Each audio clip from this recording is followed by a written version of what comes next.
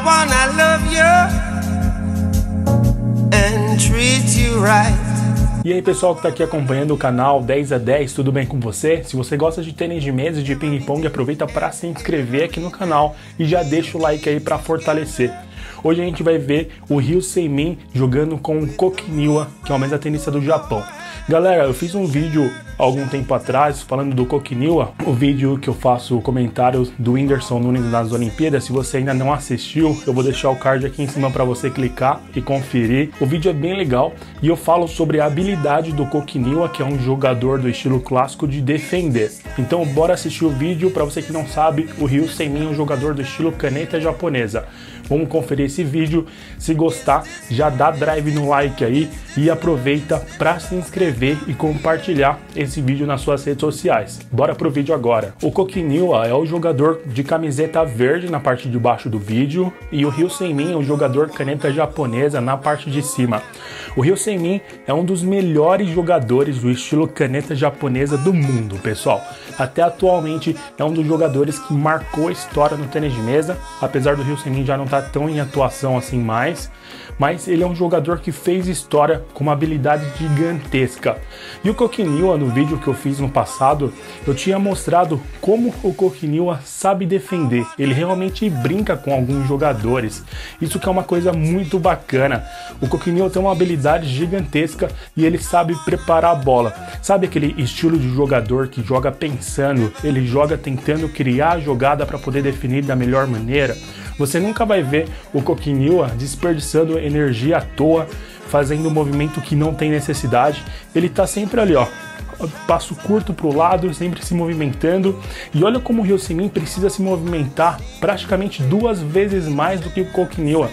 O jogador do estilo caneta japonesa, ele precisa se movimentar muito, porque ele só tem uma borracha a gente vai ver que o Ryu Min, ele que tá tomando atitude nesse jogo, ele que tá praticamente, ó, forçando todas as bolas e quando a bola vai ali, ó, na esquerda, ele tem que passar, ele não consegue botar muita velocidade. Isso que é uma característica do estilo caneta japonesa que o pessoal acaba não gostando muito e prefere utilizar o placineta, porque aí você tem uma borracha na parte de trás onde você também pode atacar. E galera, eu acho muito bacana quem joga no estilo caneta. Se você jogar nesse estilo, você provavelmente vai sentir uma facilidade muito grande para fazer o saque com efeito, para poder ter o controle de bola. É um estilo realmente sensacional e eu acho muito legal mesmo quem consegue dominar o estilo caneta japonesa. Olha só a distância que o Ryu Seimin teve que sair da bola ali de drive. Olha o tamanho da mesa que ele deixou aberta, tá vendo? Por causa disso, pessoal, com uma borracha só, você precisa atacar o tempo todo e aí você acaba deixando a mesa aberta. O Coquinho até rodou ali, fez um giro. E galera, essa partida é muito bacana mesmo e a gente vê dois jogadores de altíssimo nível aí buscando o título. Olha uma coisa muito legal também, o saque do Rio Seimin.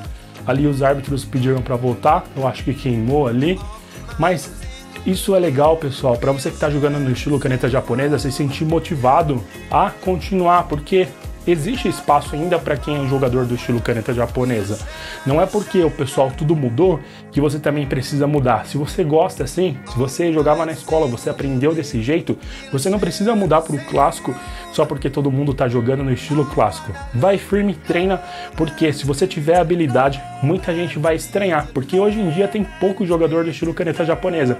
Então, na hora que você pega para fazer uma jogada contra um jogo para fazer um jogo contra um jogador desse estilo do caneta japonesa é bem diferente. Quase ninguém está acostumado a jogar mais com esse tipo de jogador. E o Ryu Seimin é um jogador extremamente de ataque. Ele gosta de atacar. Ele não é passivo. A técnica dele é feita para poder atacar. Ele tem uma terceira bola muito forte. A terceira bola o que é? A terceira bola é quando, por exemplo, o Ryu Seimin ele tá com o saque na mão, ele saca e aí ele já sai atacando de drive, já sai definindo. Isso é uma jogada muito bacana, eu vou estar tá fazendo um vídeo aqui em breve no canal. Eu vou estar tá ali jogando do estilo caneta japonesa, vou estar tá ensinando vocês como você deve se posicionar, o que você deve olhar para conseguir fazer a terceira bola, porque é fundamental. Se você quer ser um jogador bom de tênis de mesa no estilo caneta japonesa, você tem que treinar muito, muito a terceira bola. Você precisa treinar movimentação entrando e saindo da mesa, é super importante. Como o Phil Simon faz, ele faz isso muito bem e você vai conseguir ver alguns detalhes aqui nesse vídeo de como ele se posiciona. Tá vendo quando eu falo que ele vai com a raquete em cima da mesa, ali pertinho da rede, e agora ele já está distante. Ele consegue fazer esse trabalho de ir para frente e para trás e também de um lado para o outro. Isso é extremamente importante para quem joga no estilo caneta japonesa, pessoal. Então eu vou estar tá fazendo um vídeo sobre isso. Se você quiser ver esse vídeo, deixa bastante like aqui, que aí eu vou saber e vou dar mais agilidade para estar tá saindo aqui no canal. Também vai comentando aí o que você quer saber sobre o tênis de mesa, quais são as jogadas que você quer aprender, o que você tem dúvida, se você tem dúvida em como fazer saque, como recepcionar o saque, vai comentando porque eu vou gostar muito de poder ajudar vocês a aprenderem mais sobre o tênis de mesa. É um jogo bem disputado, pessoal. É muita rivalidade quando a gente está falando de mesa tenistas asiáticos a partida é sempre muito legal. Eu gosto muito de ver quando a gente tem jogadores de extrema habilidade e principalmente quando casa um jogador de defesa com outro de ataque. Aí a gente chegou no final do vídeo, uma partida muito boa, Kokiniwa sempre representando muito bem, o Rio Senminha elevando o estilo caneta japonesa para o mundo todo e inspirando muitas pessoas. Então se você gostou desse vídeo, aproveita para deixar o seu like, se inscreve aqui no canal, compartilhe esse vídeo com seus amigos do tênis de mesa e bora treinar, pessoal. Quanto mais vocês divulgarem o tênis de mesa, mais o tênis de mesa cresce e mais pessoas você tem para poder praticar junto com você. Muito obrigado e a gente se vê um próximo vídeo. Até mais. Tchau, tchau.